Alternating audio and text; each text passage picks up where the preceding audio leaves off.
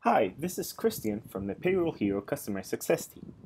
In this video, I'll show you how you can easily set up a loan for your employees and keep track of the repayment process via Payroll Hero. Loans are recorded on the system via a bank and are displayed on the employee's payslip if desired. The repayment can be set up to be automatically deducted from the employee's pay on one or multiple payments and the amount due can be tracked on the payslip. This system consists of two steps.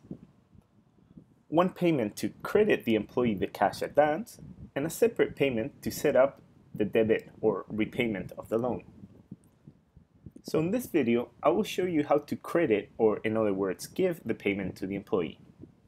So the first thing will be to go to the employee's employee list and find the employee that I will give this loan to. I can either select from the list here or directly search. In this case, I'll give myself a loan. So I'll just go directly to my profile. I'll scroll down here to the Payments tab. And under Employee Payments, from this drop down here, I will select Advance. And I will click Add a new payment.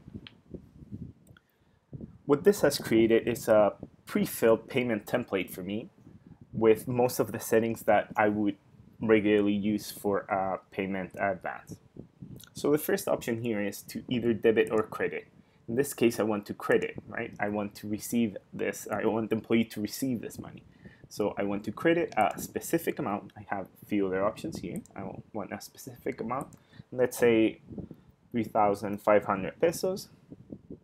And I want this to be paid once. So I have different frequency options. I, in this case, because it's a, a loan, a cash advance, I would want it to be done once starting on a specific date or alternatively enrollment, but I will want to choose specific date on a day within the next payroll of this employee. So this will be credited on the 1 to 15th of August payroll. So I will just add a date, August 2nd, which is within this period. This amount will be credited to net and I have all other options obviously, but uh, I would want to credit it to net and record it in a bank. I we recommend to use a specific bank for cash advances and loans so it's easier to keep track. Finally, the if there is a tax rule that would um, work over this loan, you would select it here and finally, you would select where in the payslip you would like this um, item to appear. So it would go under Advance and with the name Cash Advance. And I do not want to categorize and I want this to be paid right away. I reviewed my settings. I click on Create when I'm ready. So now this payment has been created and you can double check it down here on the employee payments section.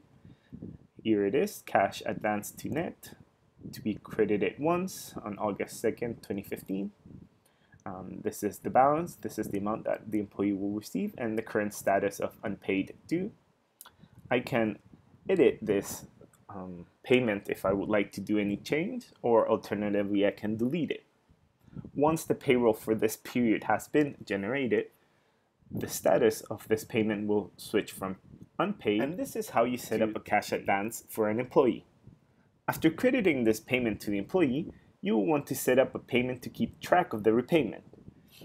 This I will detail on the next video. For more information and details, please check out our knowledge base at support.payrollhero.com. And if you have any questions, you can reach us at support at payrollhero.com. Thanks for watching.